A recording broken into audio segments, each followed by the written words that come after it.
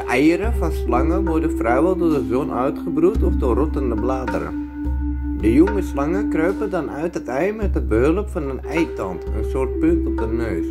Eenmaal buiten moeten ze meteen voor hunzelf kunnen zorgen. Bij enkele soorten slangen komen de jongen niet uit het ei, maar worden ze levend geboren. In dit geval zijn het jonge slangen van de Elafa gutata gutata, dat zijn de ouders van deze slangen. Zo zien we dus dat we van de rode rattenslang diverse kleurenpatronen kunnen krijgen.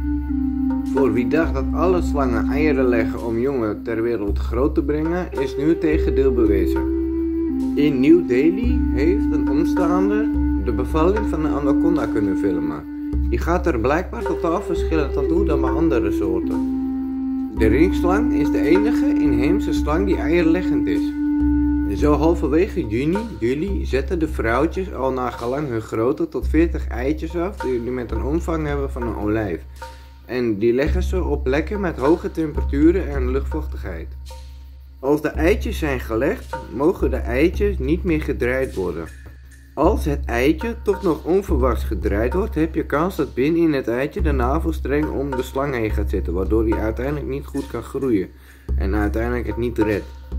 Dit is dan ook de juiste reden dat we de eitjes met rust laten en zoveel mogelijk laten liggen waar ze vandaan komen. Een jonge net geboren slang zal meteen zelfstandig moeten zijn. Dat betekent dat hij na het uitkomen van het ei al het slijm van zich af moet kruipen en vegen om uh, de goede hardheid van de schubben te krijgen. Want de huidlaag van een jonge slang is heel kwetsbaar, waardoor die eigenlijk ook snel gegeten kan worden door andere dieren. Na een paar uurtjes uit te drogen in de zon en op een warme plek, een droge plek te liggen, zal de huid uiteindelijk weer versterken, waardoor hij uiteindelijk een panzer krijgt. Als de jonge slang eenmaal uit het ei is gekropen, duurt het ongeveer een week voordat zij gaan vervellen. Dan is ook het eerste moment dat ze voedsel mogen krijgen. De meeste slangen zijn nachtdieren of dagdieren. Dat betekent dat ze ochtends vroeg of avonds laat eitjes zullen leggen. Maar wat is dan uiteindelijk de beste plek om de eieren af te zetten? De beste plek is een berg bladeren, composthopen, stro, bergen, zaagselbergen, stapels brandhout en gemaaid gras. Dit zijn stuk voor stuk plekken waar de slangen zich prima en comfortabel in kunnen verstoppen.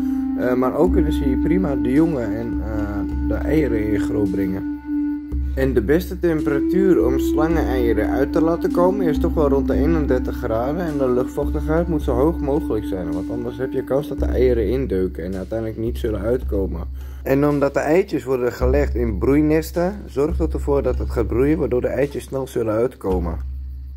Die jonge babymuisjes van dit soort slangen worden ook wel eendagspinkies genoemd. Dat zijn muisjes die één dag oud zijn uit het nest. Als de temperatuur buiten wat warmer wordt en de zon begint meer te schijnen, dat is rond juni en juli, uh, leggen de vrouwenslangetjes tussen de 10 en 40 eieren graag in een broedhoop, afhankelijk van de grote leeftijd van het vrouwtje. Na 8 tot 10 weken komen de slangetjes uit het ei. Ze zijn dan ongeveer 16 cm lang, wegen 5 gram en lijken op grote regenwormen. Om te groeien moeten de slangen vervellen. Dat houdt in dat als de slang eenmaal stukje bij beetje is gegroeid, dat hij uiteindelijk zijn oude jas gaat uitstreken. Dit doet hij ook door het schuren langs de randen van een tak of andere materialen. Door de huid eraf te rollen, stropt de slang uiteindelijk zijn nieuwe regenjas af en kan hij uiteindelijk beginnen weer van vooraf aan met het herstellen van de panzer van het huidje. Want jawel, ook na het vervellen zal de slang ook een kwetsbare huid hebben. Ook dit is niet het moment om te voeren.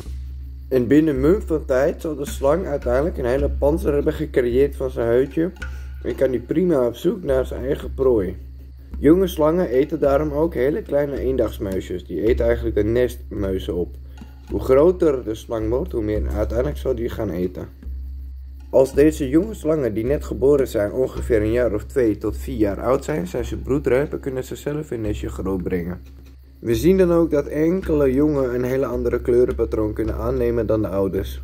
Dit ligt er dan ook weer puur aan wat voor voorouders ze hebben gehad. Dit eitje is uitgekomen in de zomerperiode van 2022. En jawel, we zijn geëindigd aan het einde van deze video. Dit was de video van de Elafa gutata gutata, oftewel de rode rattenslangen met hun jonkies hiervan.